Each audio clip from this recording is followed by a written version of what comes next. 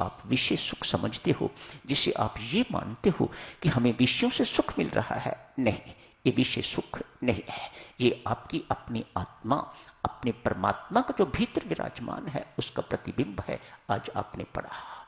आज आपने शांत भावना पड़ी है, दूसरी भावनाएँ पड़ी हैं, प्रिय भावना पड़ी है, उसके अंतर्गत स्वामी जी महाराज ने लिखा है, जो कुछ भी आपको प्राप्त होता है, जो कुछ भी आपको प्रिय लगता है, प्यारा लगता है, मानो उसमें ऐसा कुछ नहीं है। ये आपका अपना आत्मा उसमें प्रतिबिंब होता है आप परमात्मा भीतर बैठा हुआ उस पर प्रतिबिंबित होता है तो वह आपको प्रिय लगने लग जाता है। यदि ऐसा नहीं है तो कभी अप्रिय लगने लग जाता है। प्रेम उसी पर उमड़ता है, जो अपने अंदर से निकलता है। उदाहरण क्या? देखिएगा, एक और उदाहरण।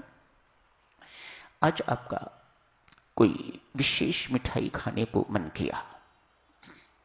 परमेश्वर की कृपा प्रारब्ध के अनुसार वह मिठाई आपको मिल जाती है। मिठाई मिलते ही न मिलने तक मन चंचल था। उस मिठाई को पाने की चंचलता थी, बेचैनी थी।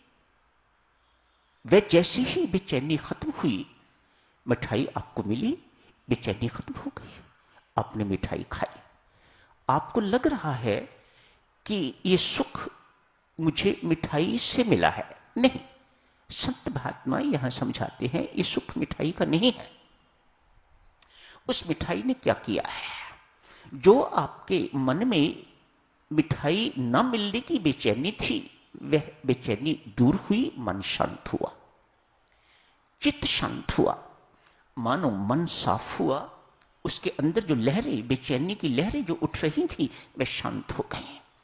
जैसे आप एक सरोवर में पत्थर मारो तो लहरें उठती हैं। आपको लगता है कि सरोवर का जल भी जो है, स्तर, वह भी बढ़ चढ़ रहा है। लहरें उसमें उठ रही हैं। ठीक इसी प्रकार से जब मन बेचैन होता है, चित्त बेचैन होता है तो इनमें भी इस प्रकार की तरंगे, बेचैनी की तरंगे उठती हैं। जैसे ये तरंगे शांत होती हैं तो आपका अपना प्रतिबिंब उसमें दिखाई देता है। आप स्वयं आत्मा हो, आप स्वयं परमात्मा हो, आपका प्रतिबिंब उसमें दिखाई देता है, वह आपको सुख का अनुभव देता है, वह आपको आनंद का अनुभव देता है। ये सुख मिठाई से नहीं है। हमें भ्रांति ये है कि ये सुख हमें मिठाई खाने से मिल रहा है। संत महात्मा समझाते हैं, बिल्कुल गलत। उस दिन आपने देखा था, वस्तु किसी भी सुख देने की सक्षमता नहीं है। किसी वस्तु में भी एक ही वस्तु, एक व्यक्ति के लिए महासुखदायी वही वस्तु दूसरे व्यक्ति के लिए महादुखदायी बच्चे का सुख अलग है, बड़े का सुख अलग है, विवाहिता का सुख अलग है। मानो, ये इस, इनका वस्तुओं के साथ संबंध नहीं है। मन के खेल हैं, मन शांत होता है तो उसे क्या चीज़ अच्छी लगती है? क्या उसके अनुकूल है? वह उसे सुख कहता है। जो उसके प्रतिकूल है, वह उसे दुख कहता है। चित्त की शांति साधक्षणों मन की शांति, यू का सुख का साधन है। क्या अर्थ है इसका? चित्त को कहीं बाहर से शांति लानी है? नहीं देवियों सज्जनों, चित्त का स्वभाव है शांति। ये सुख दुख जो उसमें आते हैं ये उसका स्वभाव नहीं है जैसे एक कपड़ा। स्वच्छता उसका स्वभाव है। हुआ क्या है?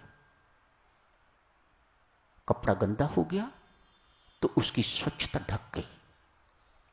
यही होता है ना दिव्यो उस कपड़े की स्वच्छता जो है, सफ़ाई जो है, जो साफ़ सुथरापन है, वह ढक गया। किसके कारण? मैल के कारण। ठीक इसी प्रकार से हमारा चित्त भी सदैव शांत रहता है, स्वभावता। लेकिन उसमें दुख आता है, अशांति आती है, बेचैनी आती है, तनाव आता है, चिंता आती है। तो ये सब की सब चीज़ें उस शांति को ढक देती हैं, शांति कहीं जाती नहीं है, ढक जाती है। जैसे ही आप गंदा कपड़ा, मलिन कपड़ा आप धोते हो मैल धुलती है, स्वच्छता फिर प्रकट हो जाती है। तो करना क्या है? अपने मन को स्वच्छ करना है, अपने चित्त को साफ़ करना है। शांति कहीं बाहर से नहीं आती। है भूल देवियों सज्जनों, हमसे यही हो रही है। सब कुछ हमारे अंदर है और हम खोज रहे हैं बाहर। जिंदगियाँ मिट जाती हैं, जवानियाँ मिट जाती हैं इसमें। लेकिन वह सुख शांति जो अंदर बैठी हुई है, वह कहीं बाहर से आपको नहीं मिलती। अंततः व्यक्ति निराश, हताश खत्म कर देता है। अपने जीवन को जीवन खत्म हो जाता है।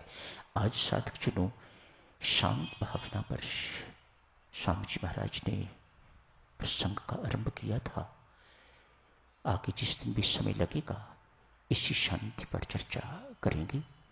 सुख एवं शांति सत्क्षणों यही तो दो विषय हैं जानने योग्य, जिनके कारण हम ये सब कुछ करते हैं। सुख और शांति में अंतर पता होना चाहिए। ढूंढ रहे हैं शांति, प्रयास कर रहे हैं सुख पाने के लिए। कोई मेल जोल आपस में नहीं बैठता।